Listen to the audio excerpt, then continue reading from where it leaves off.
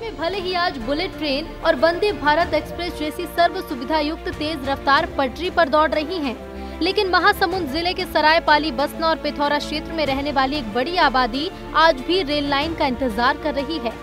इन्हें rail line की सौगात नहीं मिली और यही वजह है कि इन्हें आज भी यात्रा के लिए बसों और ट्रांसपोर्टिंग के लिए ट्रकों का सहारा लेना पड़ता है। महासमुंद सांसद रूप कुमारी चौधरी ने रेल मंत्री अश्विनी वैष्णव से मुलाकात कर रायपुर से संबलपुर तक रेल लाइन को जोड़ने की मांग की। यदि ये रेल लाइन जुड़ जाती है तो अंचल वासियों को इसका फ़ायदा मिलेगा। साथ ही दो राज्यों के बीच सामाजिक और आर्थिक रूप से बेहतर संबंध भी स्थापित होंगे। लंबे समय से मांग है इस क्षेत्र की जनता की। लगभग 35 सालों से मांग आ रही है और ये क्षेत्र अभी अछूता है रेलवे से। तो इसके लिए मैंने प्रयास किया और माननीय मंत्री जी ने आश्वासन दिया है कि आने वाले समय में सर्वे करा के इस पे आ, सर्वे कराएँगे और फिर उसके बाद इसमें आगे बढ़ेंगे करके।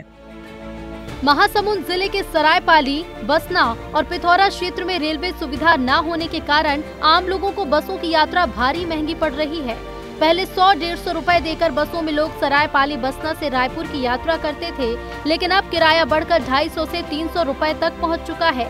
यहाँ रेल सुविधा शुरू हो जाने से बसना, सरायपाली और ओडिशा के बरगढ़, संबलपुर के लोगों को व्यवसाय और रोज़गार के साथ साथ राजधानी रायपुर तक सफ़र करने वालों की सुविधा भी बढ़ जाएगी।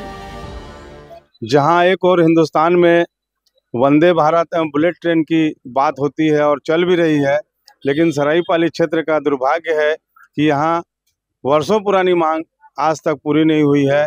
अभी तक रेल लाइन की पटरी बिछाने की बात हो रही है, लेकिन अभी तक कुछ भी नहीं हुआ है।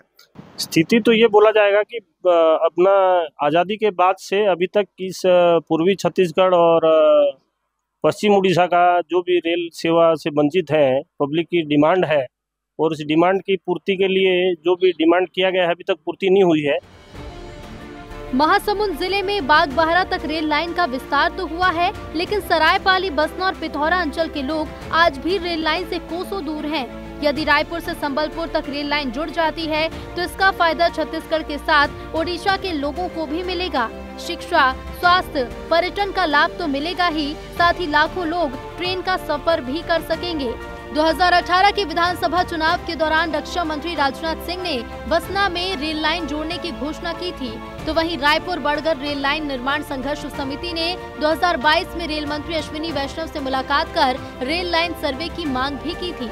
इसके बाद 2022 में भुवनेश्वर की एक निजी कंपनी को सर्वे का जिम्मा सौंपा गया, लेकिन पिछले दो सालों से सिर्फ़ सर्वे ही चल रहा है।